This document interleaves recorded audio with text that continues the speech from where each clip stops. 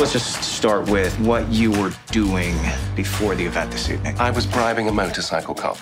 You were bribing a police officer. Indeed, not for the first time. And up until recently, you consulted for the LAPD. Mm-hmm. and you also claim that you're the devil. Was the devil. God now. Well, nearly. And how old would you say you are again? But one time works very differently in hell, so.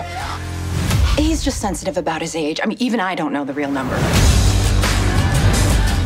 It's time for you to assume your place on Father's throne.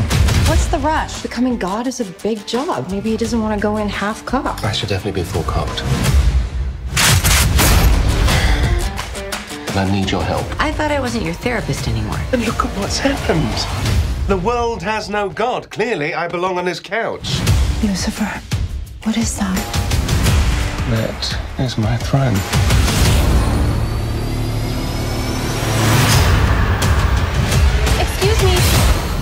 Something I can help you with? Want to help me destroy Lucifer Morningstar? The laws of nature are breaking down, and the apocalypse is nigh. Bollocks. There's only one thing we can do. Vacation in Colombia.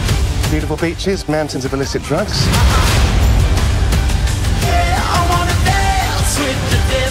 None of us know exactly how it's going to end.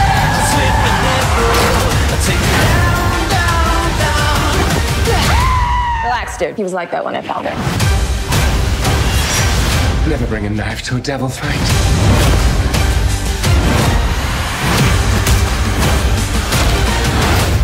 I'm ready. I hope so. Because I make quite the entrance.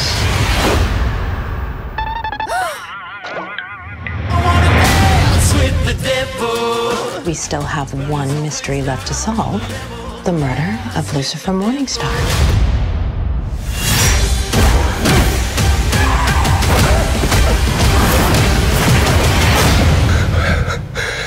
Certainly did not see this coming.